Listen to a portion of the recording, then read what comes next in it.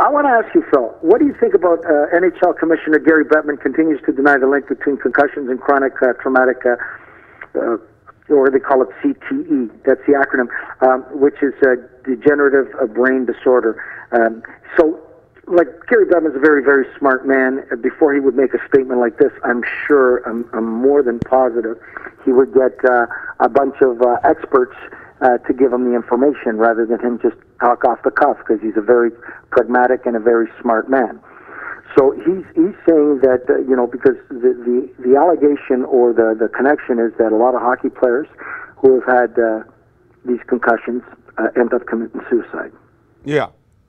A lot of them. When Yeah. you say a lot of them, five, ten, Bettman uh, made his uh, the, his latest statement on uh, the matter in a 24-page uh, address to the U.S. Uh, Senator guys too many. Blumenthal, who has been critical of the NHL's position on concussions and. CTE.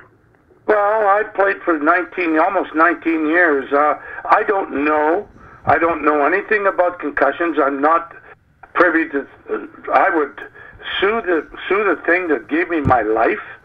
Absolutely not.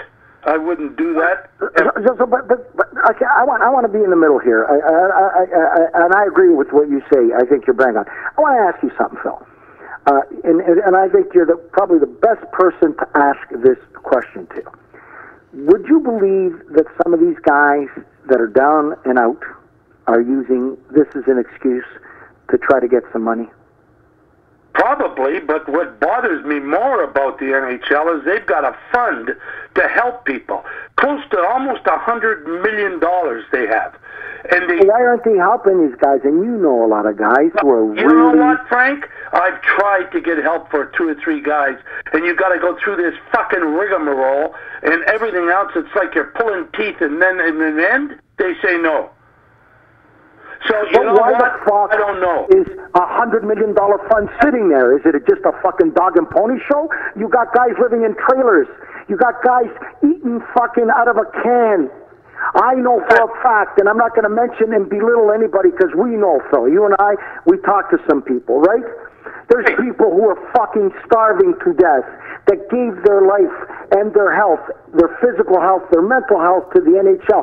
Why is the NHL not helping them? I, I, I can't answer that, Frank. I cannot answer that. You know that. You and I have talked about this. That's why Steve Ludzik and Jimmy Dorey uh, were trying to do and get this home built to help these guys and all this other stuff. And I've tried to help them, but I don't know why. I, I, I have But they got a hundred million dollars. They can't say that they don't have any money to help them. The money's there. I know that, Frank. I know that, but I don't know why. I, I have, you have to apply apparently and and go through all this rigmarole. I don't know why. In the meantime, I I remember Chico Maki. Uh, I couldn't believe when uh, Jimmy Dorey told me that they found Chico living in a shack. No boy. So when he and, and he died well two weeks after that. He didn't. He said They no. found him in a contact. dilapidated, a Yeah. dilapidated environment. Well, uh, you look, it's like everything else, you know. Once it's over, they forget about you. They forget about you, but they shouldn't be forgetting about some of those guys that put their lives on the line by playing the game. And, And building it, and building the business. what? And building the business. They were part of the reason the NHL is what it is today. Well, listen, uh, some of those guys, and now the Players Association, uh, they started it with Bobby Goodenow, that they give a supplemental check to all the old players depending on long you played. It might be ten thousand dollars, it might be twelve thousand, whatever, and um, they do that every year. They, uh, if I'm not mistaken, last year was the first year they didn't do it. I don't know for the last five or six years, and I don't know the reason why. Uh, but uh, look, there's so much money.